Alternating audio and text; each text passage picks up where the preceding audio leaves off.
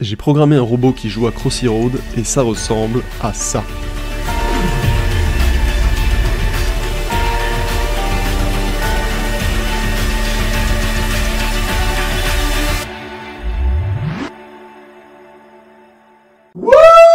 Bon, aujourd'hui on va programmer un robot qui joue à Crossy Road et tenter de lui faire atteindre un score de 1000. J'ai pris 1000 parce que c'est un score rond et trop élevé pour la plupart des humains. Donc, comme d'habitude, le plan de la vidéo ça va être de commencer par coder une copie chinoise du jeu, puis d'y ajouter notre robot de qualité allemande. C'est parti.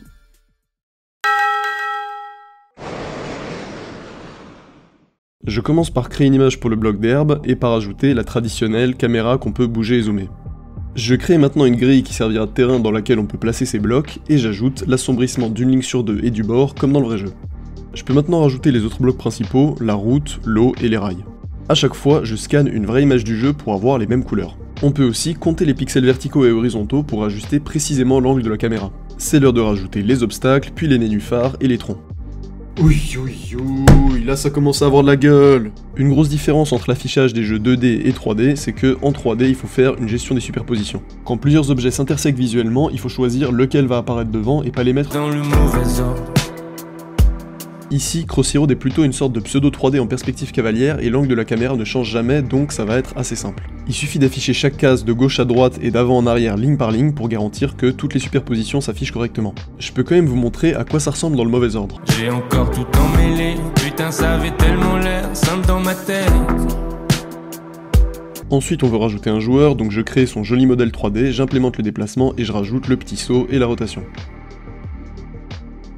Il est maintenant grand temps de rajouter les voitures qu'on va devoir esquiver. Faire la collision avec le joueur c'est assez facile mais c'est l'affichage qui va être intéressant. Depuis le début, pour afficher les blocs et les obstacles, je tape manuellement toutes les faces à afficher à l'ordinateur. C'est facile pour des objets simples et ça donne un affichage très rapide. Mais pour les véhicules, ce serait assez long parce qu'il y a beaucoup plus de faces par objet.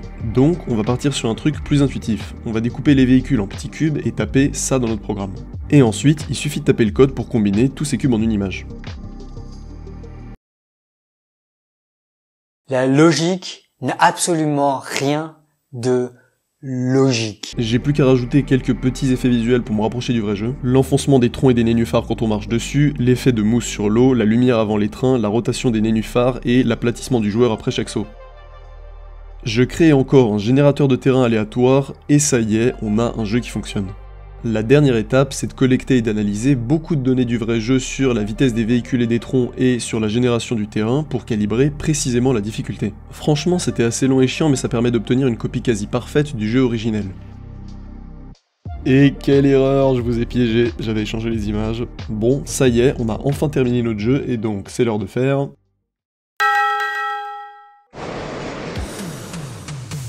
Alors, je vais pas vous mentir, au début je me suis dit, ça y est, faire un robot qui joue à Crossy Road, je suis intelligent, ça va être super facile. Et franchement, c'était effectivement super facile.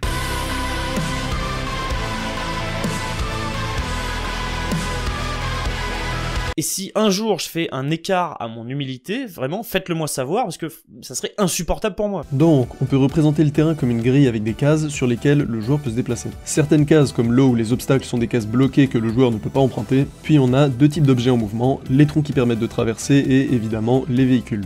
Donc ça, c'est les informations que voit le robot. Pour commencer, on va lui donner deux règles très simples. Si le robot peut avancer, il avance, et s'il peut pas, il attend c'est probablement l'algorithme qu'utilise un humain pour traverser une route. Remarquez que c'est pas aussi simple que de regarder seulement s'il y a une voiture juste devant. Par exemple, si la voiture est là, on doit quand même attendre parce que si on avance, la voiture avance aussi et on va la percuter. Donc on doit faire une sorte de mini simulation où on avance les véhicules avant de chercher des intersections. Regardons donc ce que ça donne.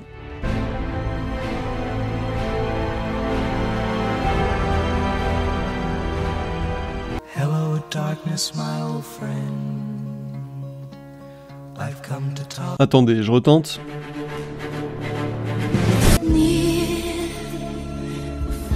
Ok, celle-ci, c'est la bonne.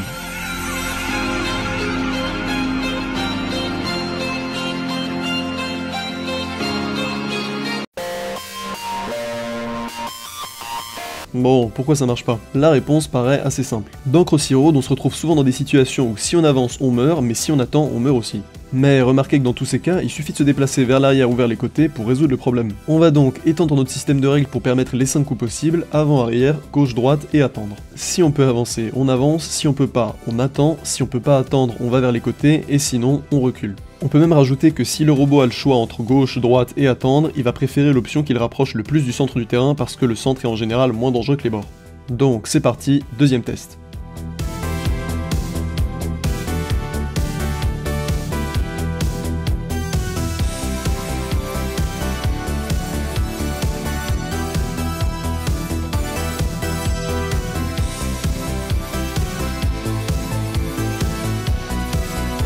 Ok, il est clairement un peu meilleur, mais dès que la route devient un peu remplie ou qu'on est sur des troncs, on se retrouve facilement dans ce type de situation où les 5 coups possibles font perdre, et ça, c'est un problème. Le seul moyen de résoudre ça, c'est que le robot puisse anticiper ce genre de cas et éviter de se retrouver bloqué. Voilà comment on va faire. Pour l'instant, le robot regarde les 5 coups possibles et prend le meilleur d'entre eux. D'une certaine façon, on peut voir ces 5 coups comme des chemins de longueur 1, mais en fait, rien ne nous empêche de considérer des chemins plus longs. Par exemple, on peut construire la liste de tous les chemins de longueur 2, ou la liste de tous les chemins de longueur 3.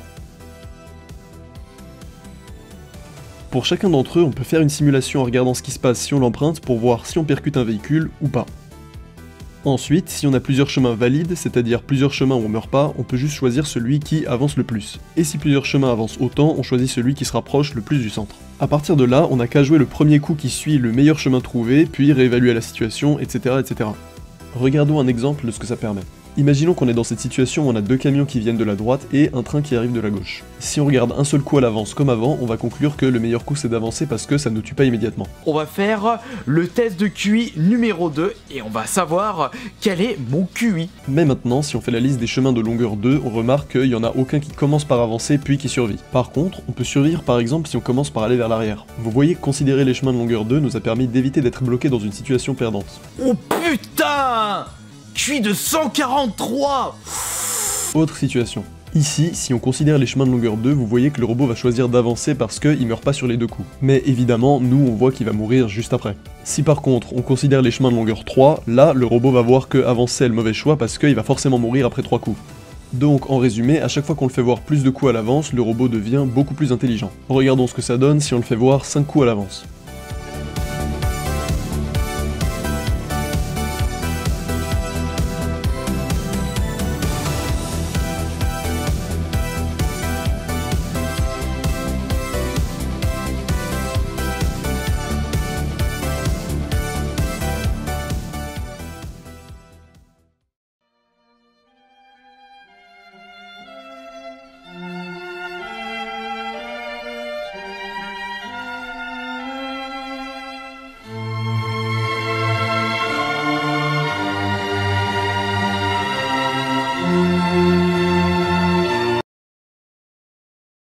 Ok, il est bien meilleur, mais c'est toujours pas 1000. Et vu que j'ai probablement mis un titre super putaclic, euh, je peux pas décemment vous laisser avec ça. En théorie, on pourrait facilement rendre le robot meilleur juste en augmentant sa profondeur d'évaluation. À chaque fois qu'on augmente la profondeur, le robot devient beaucoup plus intelligent, mais il doit aussi faire beaucoup plus de calculs. À 5 de profondeur, le robot doit déjà faire plus de 3000 simulations, et si on voulait passer à 6, il y en aurait plus de 15 000. En plus, quand on augmente la profondeur, chaque simulation individuelle devient de plus en plus longue. Puisque le robot n'a que 20 millisecondes pour prendre chaque décision, si on veut aller plus loin, on va devoir s'astreindre à petit peu de réflexion. Considérons deux chemins A et B qui commencent différemment mais qui se terminent de la même façon. Imaginons qu'on simule le début de A et qu'on se rend compte qu'il est valide, c'est-à-dire qu'on peut accéder à cette case sans mourir.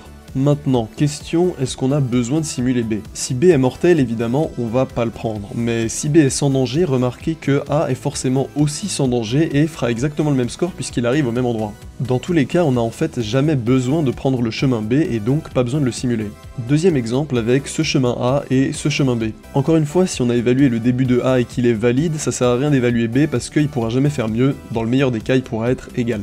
Maintenant, on peut généraliser ce raisonnement. Si on a trouvé une méthode A valide pour accéder à cette case, pour tout chemin B qui passe par cette même case avec une méthode différente, il existe un chemin de type A équivalent qui fera au moins tout aussi bien. Tous ces chemins B peuvent donc être complètement ignorés. Donc à partir de maintenant, on va demander au robot de garder en mémoire toutes les cases auxquelles il a déjà trouvé un accès valide et d'ignorer tous les chemins qui repassent par ces cases d'une autre façon. Et puisque les chemins passent presque tous par des cases déjà explorées, ça va permettre d'ignorer l'écrasante majorité des chemins. À 3 de profondeur, cette méthode permet déjà d'éliminer en moyenne 80% des chemins. À 4 de profondeur, 93%, à 5 de profondeur, 98%, et à partir de 6, on ignore en moyenne plus de 99% des chemins. Avec cette économie de calcul, on va pouvoir rendre notre robot vraiment bon en regardant beaucoup plus loin. On peut maintenant par exemple facilement atteindre la profondeur 15. Dans Crossy Road, les véhicules d'une même voie sont toujours espacés exactement soit de 6 blocs, soit de 12. Donc le robot peut facilement faire des assez bonnes prédictions sur les véhicules en dehors de l'écran et rester relativement précis même 15 coups à l'avance. Et pour vous donner une idée du niveau de performance, voir 15 coups à l'avance, ça ressemble à ça.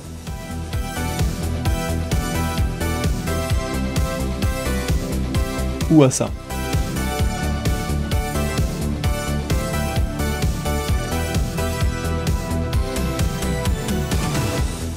Ok, là je sens qu'on va pouvoir faire de la dopamine, donc voici un montage d'une partie complète avec la vision du jeu, la vision du robot, le chemin en train d'être calculé en cyan et le meilleur chemin trouvé en rose, plus un peu d'électro, régalez-vous.